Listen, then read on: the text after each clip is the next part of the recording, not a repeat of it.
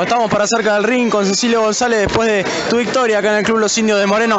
Bueno, Cecilio, contanos las sensaciones después de esta gran victoria que obtuviste. Una pelea complicada. Sí, una pelea complicada que nos generó porque era bastante alto y bueno, pero nosotros y se entrenó mucho para, para conseguir el objetivo que se logró ahora.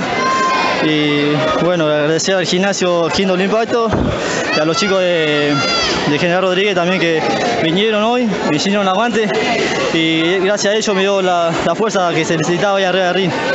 ¿Sentís que aprovechaste un poco más el tema de la distancia, que acortaste, que tu rival no, no pudo aprovechar el largo de brazo que tenía como para, para doblegarte a vos? Sí, ese era el trabajo que se, se, hizo provisoriamente acá dentro del ring, acá dentro del gimnasio y por lo menos por, los- por suerte se dio la, el, el- el plan de pelea. ¿Sabías que, que se te podía complicar por eso? Sí, sí, sabía. Eh, pero como esto es amateur y es sumar eh, victoria, eh, es bastante bueno, me sirve mucho. Eh, rivales como este. ¿Sentiste que sumaste una, una victoria más, pero una victoria importante en tu carrera después de la gran pelea que hiciste? Sí, sí, sí, por suerte sí, es algo lindo y festejar y, y gracias a todos. Contame de esa última mano, que prácticamente levantó todo el estadio después de, de la combinación que hiciste, que bueno, te llevaste todos los aplausos.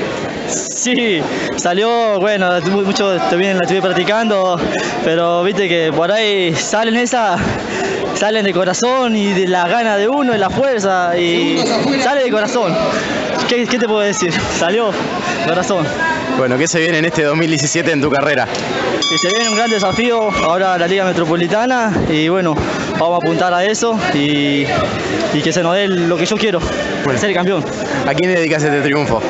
A toda mi gente de San Javier, y seguramente lo están escuchando porque son de Santa Fe, y bueno, dedicado a ellos, a mi, fa- a mi familia, y bueno, a la gente de Hindle Impacto, y a los chicos de, de General Rodríguez, que también vinieron a hacerme el aguante.